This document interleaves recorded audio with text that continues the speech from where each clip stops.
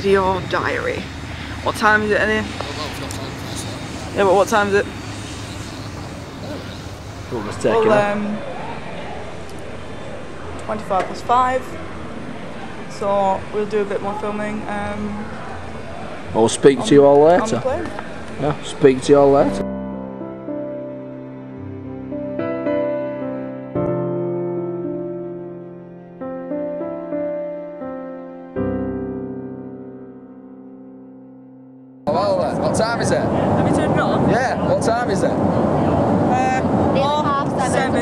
Past seven. AM. And AM, yeah, AM. and I'm knackered. uh, Tim, get Tim. Tim, hello. Tim. Hey up. Uh, Here's Tim. Where's Tim? hello, Tim. There's Tim.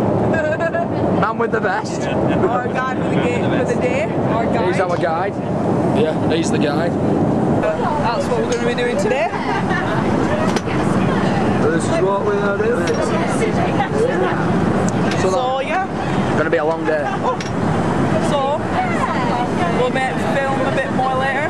Yeah. But if we don't, it'll be in the airport in Krakow. that's it. Crack out. All right, let me just give you a very brief introduction. Um, this is the only surviving building that belonged to a once thriving community. 12,000 people lived here before the war. There were over 20 synagogues. You saw the site of the destroyed one, the Great Synagogue. And um, 60% of the population of this town, not unlike many other Polish towns, were Jewish. Today, in this town, not a single Jew. The last one was Shimshon Kluger, who, by the way, when he came back after the war, he survived with his brother and sister, and they, they hid in the forest around here, and they came back. And when they came back, I want you just to think for a moment what faced him and how you would feel if you faced the same thing you here tonight. Came back here, and there was no one that he knew. All the people that he'd grown up with were just gone. Not a single person didn't recognize a single person, just taken away. Right, uh, we are in Oswiecim. Uh, we arrived about, what was it, half an hour ago? About that, About yeah. half an hour ago. We've Down just been to uh, the, to meet a rabbi in what, what was it called? I'm not A sure. synagogue. Thank you. Um, yeah, in a synagogue. Uh, we had a little lesson um, in Hebrew and things like that. Eddie had to wear a very strange hat. Which I nearly walked out with. Yes, I got some alright pictures and uh, we've got to go that way. Yeah, we're just heading back to the Um, bus. We're just heading back to the bus now. I think we're going Auschwitz now, aren't we? Yeah, I think we're heading off to Auschwitz 1. So uh, it is 12 o'clock England time, so it's 1 o'clock um, Poland time. And uh, well, we'll see you in Auschwitz. Yeah, we'll see you later. Right, Raquel. Oh, yeah. So where are we, Uh, Raquel? Right, we are in Auschwitz 1. Auschwitz 1. What time is it? We've got these little headphones to listen to our tour guide lady. Wherever she um, may be. She's up there, I forgot what her, what her name is. It's really long. Marcelina. It's half past 12 English time, so it's It's half past one over here. Over here. Oh, there's always one, isn't there? Um, yeah, so gonna have a little tour, take some pictures. Hello.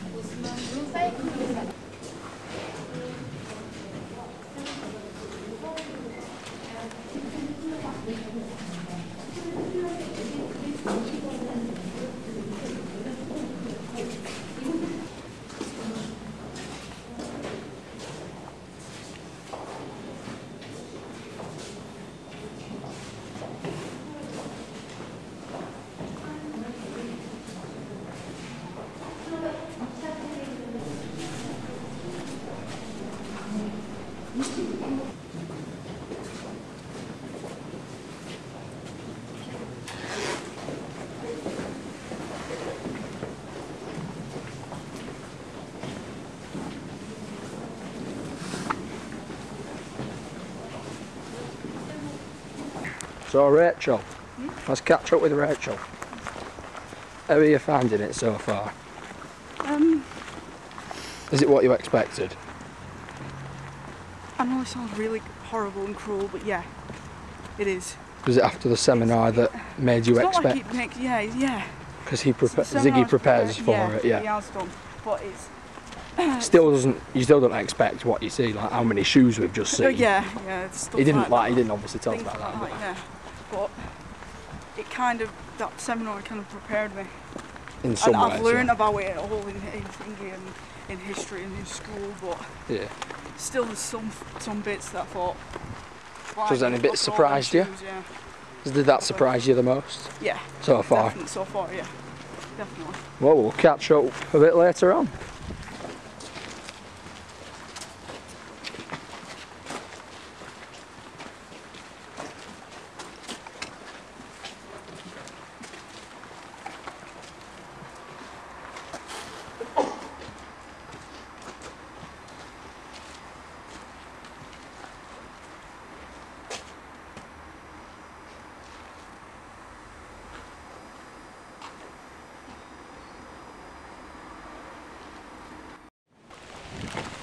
Right, so Raquel, how did that go in the uh, gas chamber and the old crematorium? Stunk of ash. Still smells, isn't it? Yeah. After all that time. Yeah, still stunk. Um, I don't know what to say really. Is it what you were expecting? Um, like I said earlier, it is kind of is, but What I explained, but obviously it's different seeing it yeah, yeah, in the actual flesh than just telling you. Yeah, you can actually smell and you can kind of guess what's happened. yeah. You're experiencing it Yeah. yourself, aren't you? So it's not exactly like I'm ever going to forget it, No. you know. Um, and she was really nice and asked some questions, but Yeah. um, yeah, she explained a lot of it well. Yeah. Even though I was taking a lot of pictures, Yeah. I kind of missed a lot of it. But Yeah. Right. Well, we'll shoot off and we'll see you in Birkenau. Is it true that there's no birds that fly over? No, it's not. No, no, no. Because I find- haven't seen any. Yes, but this is the time of the year. There are not so many birds here, first of all, and also the, the weather is not good. But if you come here in the summer, you'll find a lot of birds. Uh, Alright, well, we, I don't know where we heard it from, but Uh, a lot of people ask these questions. No, someone who said that they'd visited here before, um, and they said that that's what they were told, and they hadn't seen any single birds. And it was like in the summer area, and they didn't see one single bird No, when no, they flew there are over. birds, there are deers, there are snakes. You can find here a lot of animals, a lot of frogs around.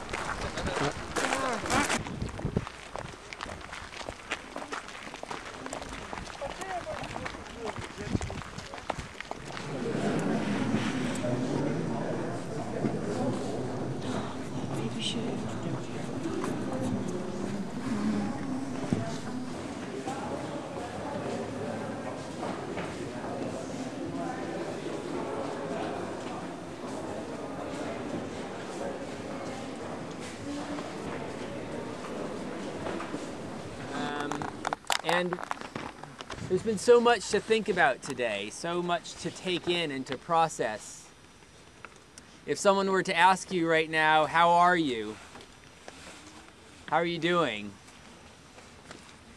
You might say something like, I'm cold or tired or hungry, which would be the sort of obvious superficial things, but how, how are we really after a visit to Auschwitz and Birkenau? It sometimes takes a, a bit longer to fully let it all sink in and put into words what it is that we've been seeing today, hearing about today, talking about today. And so it seems like an appropriate way to to end the day is to just have some more some readings, really some mostly poems, um, just to give us some more points for reflection, things to think about on our on our journey home.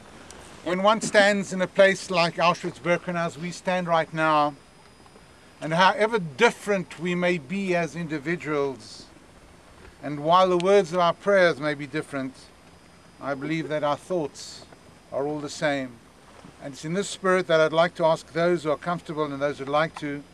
I've chosen Psalm 23 because it's common to so many of us, and because also there's a reference over here, the valley of the shadow of death, which in many ways describes where we are standing right now. So those who'd like to, please join in reciting the psalm together. The Lord is my shepherd, I shall not want. He maketh me to lie down in green pastures. He leadeth me beside the still waters. He guideth me in straight paths for his name's sake. Yea, though I walk through the valley of the shadow of death, I will fear no evil, for thou art with me. Thy rod and thy staff, they comfort me. Thou preparest a table before me in the presence of mine enemies. Thou hast anointed my head with oil, my cup runneth over. Surely goodness and mercy shall follow me all the days of my life, and I shall dwell in the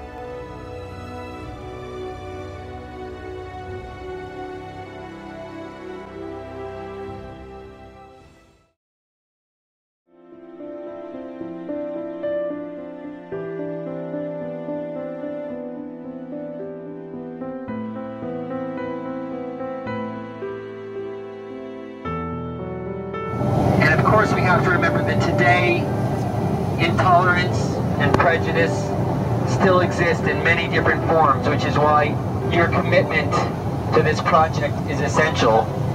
And it's going to be your actions as Lessons from Auschwitz ambassadors from today forward that will encourage others to fight against intolerance and to combat prejudice.